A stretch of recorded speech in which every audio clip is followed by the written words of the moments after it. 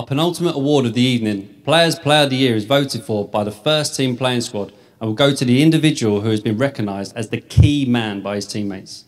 Announcing the winner of tonight's award by video message are Gwen and Jim Mann.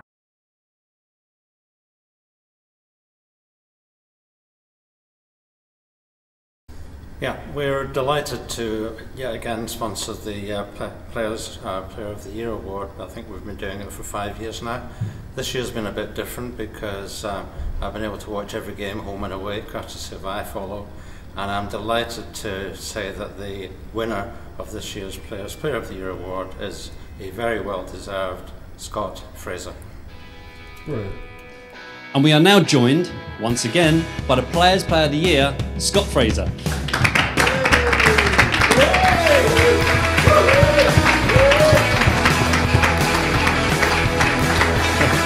Take a seat, mate, take a seat.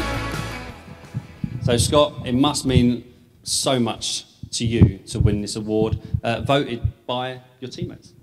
Yeah, um, I'm over the moon with this one. Um, I think, you know, if you look around our changing room, you know, we've got a lot of good players, a lot of good players that have played well this season. So for them, you know, to go and vote me, um, yeah, it means a lot. Can you smile? Is that all right? Yeah.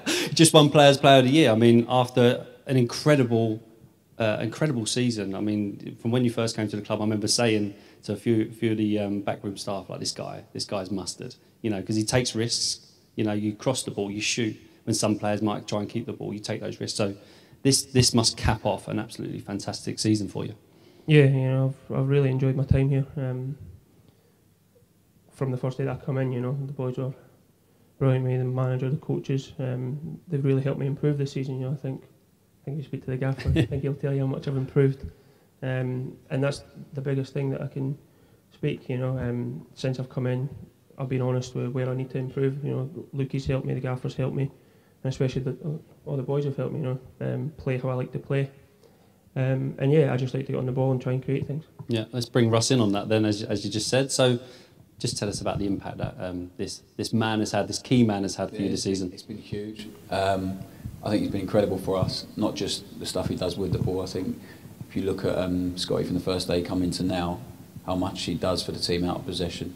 Um, we're always showing videos of how hard he works, the, the stuff he does off the ball, which is just important, but the stuff that people maybe don't take note of. But um, I think he's improved a lot mentally, physically, um, and he's a massive player for us. There's no doubt about it. And the composure he shows with his penalties and the assists he's got, um, yeah, he's been huge. So I'm, I'm delighted for him because he, he deserves an award, that's for sure.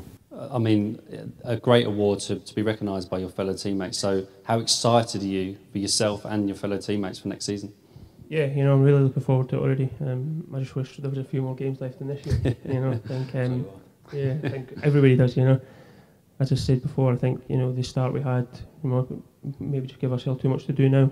But I think the run that we've been on, um, it can only bode well for, you know, recruiting players for next year and showing them how good we can be. Yeah. Well, massive congratulations from me, massive congratulations from everyone, I'm sure from Russ as well. Uh, thank you once again.